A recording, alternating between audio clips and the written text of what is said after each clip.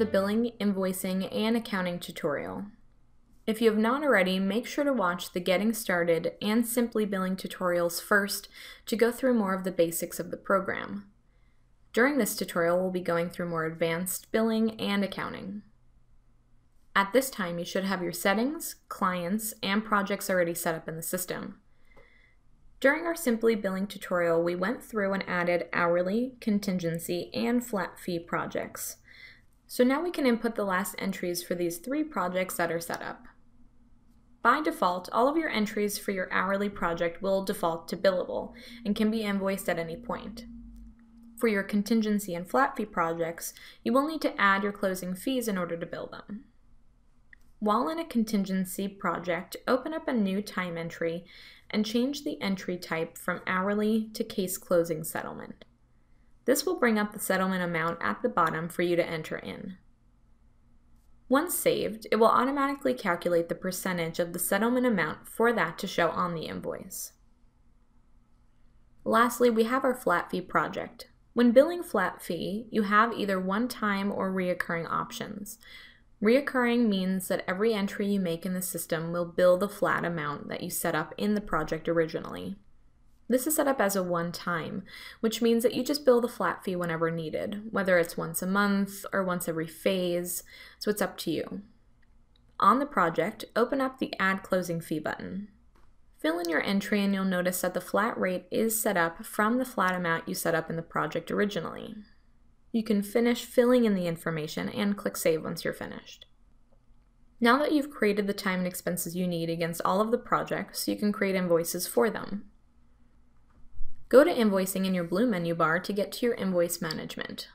From there, you can view the invoices created in the past, when they were created, you can see when they were created, and if they're in a pre-bill or finalized state.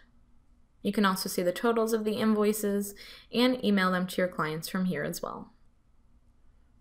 To the right, you have Find Invoice. This allows you to find invoices for a particular invoice number or client. This comes in handy if a client calls and says that they would like all invoices printed and sent to them. You can choose the client and print all of their invoices at once instead of searching for each one. Create Draft allows you to pull all unbilled activity for a particular client without creating an invoice for them. You can edit the entries right in here just by clicking on an entry to open it up.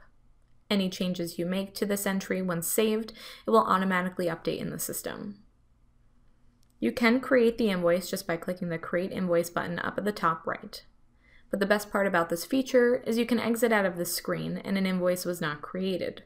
So you can go back to billing time on the client without affecting the existing data.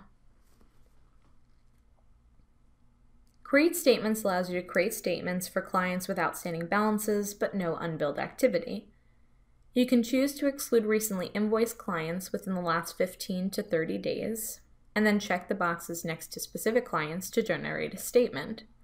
This will show the client their balances as of today. Lastly, when you are ready to create your invoices in the system, you want to go through Create Invoice.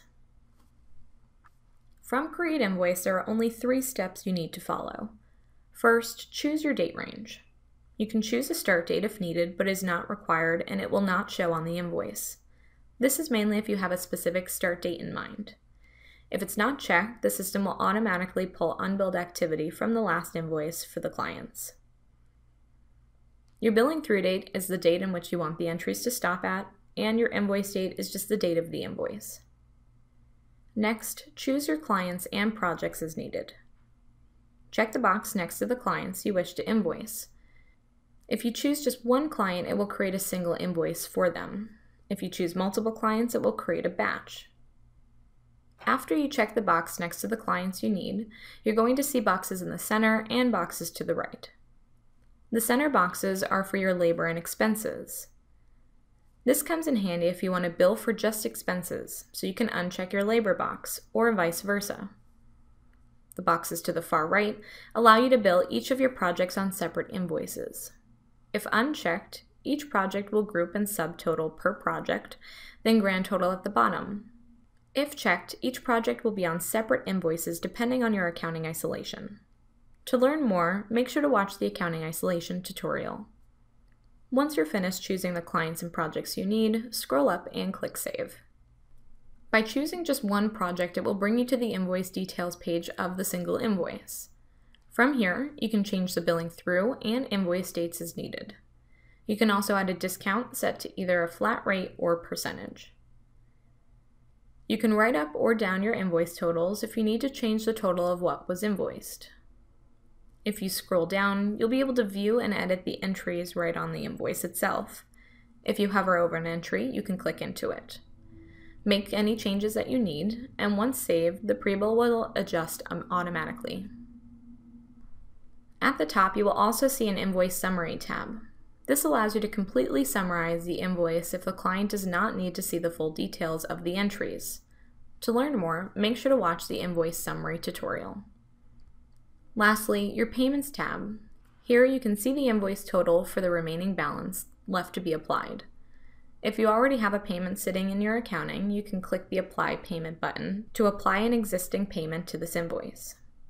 If you want to make a new payment against this invoice, you can click Receive Payment to fill in the information and save it. At the top, you can click the Print button to view it and the Create PDF button to save it. Here you can also click to export the invoice if you need to submit your invoices via LEDES if you're on a legal plan. If you finalize the invoice, it will lock the entries from being edited. If you've finalized an invoice and need to make more changes to it, you will see an unfinalized button up at the top, which will put the invoice back to a pre-bill state and allow you to make further changes. You can also delete the invoice if you're not ready to send it out, which will put the entries back to unbilled activity. So if you go back to create invoice, this client will be in your list again. If you were to choose multiple clients when creating your invoices, it will create a batch. Once you select multiple clients you want, you can click Save. Once saved, it will bring you to that batch details page, which will show you the list of all of your single invoices. You can mass edit the batch by clicking the Edit button up at the top right.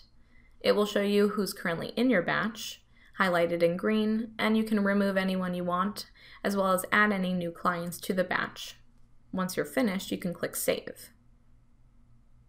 You will also be able to delete the whole batch, which puts all of the entries back to unbilled activity.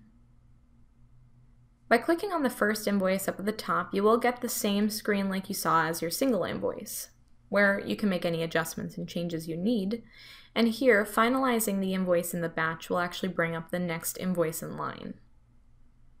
If you want to get back to the main batch page, click the batch ID to the right. From here, you can check the boxes to the far left of all of your clients. Then to the right, you'll see a Finalize and Unfinalize button, which will allow you to update multiple invoices at once. You can click the Print button to print all of the invoices and the PDF button to save them all. You can also email them to your clients by clicking the envelope icon to the right of a finalized invoice.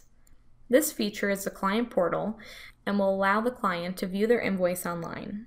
They can print it, save to PDF, and pay for it online. To learn more, make sure to watch the client portal tutorial. Once your invoices are sent to the client at that point, you would be receiving payments. To track your payments, click Accounting in your menu bar. From here, it will show you a brief overview of all of your clients. You can receive a payment from here to enter in the details like the client's name, the amount, the check number if needed. And then you can also apply this payment to a specific invoice. You can choose the invoice down at the bottom and then go ahead and fill in the amount. Click the Apply button and then click Save. This will mark this invoice as paid. From the accounting, you can also search for a client up in the search bar and click the client from this page. It will send you straight to the client's full accounting to show you their invoices payments just for the client. You also have a balance adjustment option, which can be set to a debit or credit. You can add the debit in the system for amounts owed, as well as credits for writing off certain funds. The credit will show and deduct from your invoice totals and can be pulled when you're running the account activity report. From your client's accounting, you can also see the billed balance, unbilled activity, and total balance as of today. From here, you can also click on payments to view and edit them. If you click on an invoice, it will bring you to the invoice details page for that invoice. You can always click the back button to get back to that accounting page. You also have the ability to print and create a PDF of this invoice right from here. Thank you for watching the billing, invoicing, and accounting tutorial, and make sure to watch the Quick Tips playlist that goes over each area of the program for further assistance.